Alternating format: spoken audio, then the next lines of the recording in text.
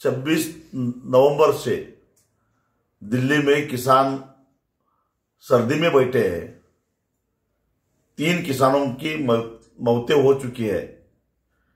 फिर भी सरकार सिर्फ़ बातचीत का नौटंकी कर रही है, लेकिन कानून वापस लेने की भाषा नहीं कर रही है।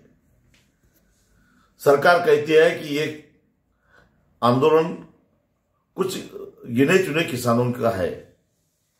हमें दिखाना है कि यह आंदोलन पूरे देश के किसानों का है।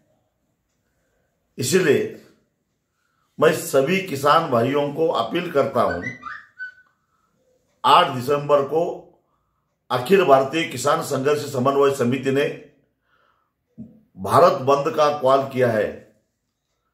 आप अपनी दुकान अपने कारोबारी बंद करके इस देश के किसान आंदोलित है। लेकिन सिर्फ़ किसान नहीं, किसान के पीछे सारा समाज भी आज खड़ा है। ये दिखाने की आवश्यकता है।